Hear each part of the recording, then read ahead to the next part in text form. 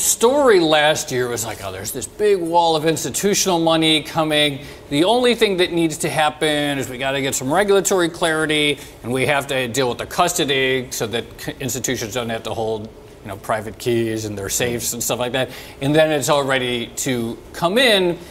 Is that still the view that if some things get solved in the sort of infrastructure side, that there's a lot of money uh, on the sidelines? There's, there's certainly no question that custody and the regulatory aspect need to be need some clarity, or at least need some work to, to build those out. They're complex issues. Yeah.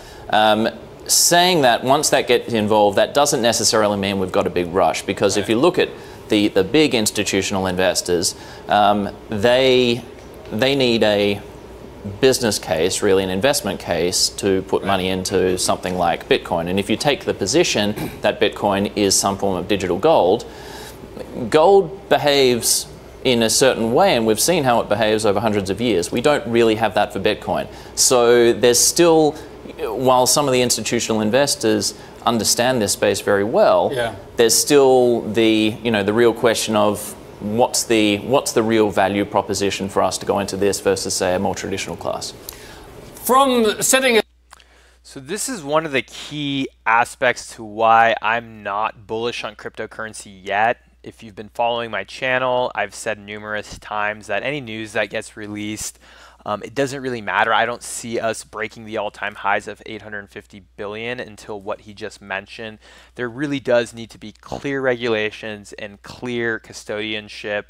A Bitcoin ETF would be a great example, which we're hoping um, will come out sometime this year in the end of 2018.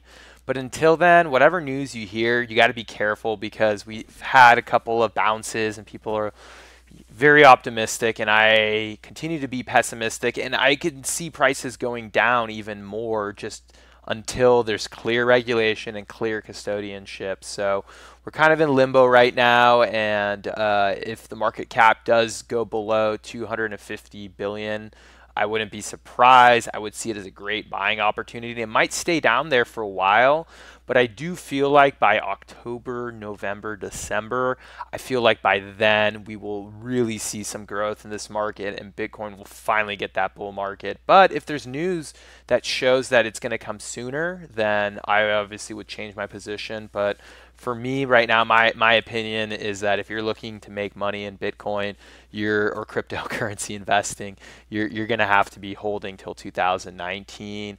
And if you're looking to enter the market, um, I wouldn't be surprised if there's actually a lower dip in the next two, three months, especially if you don't have any clear uh, news coming out. But let me know your thoughts about this, and I will talk to you soon.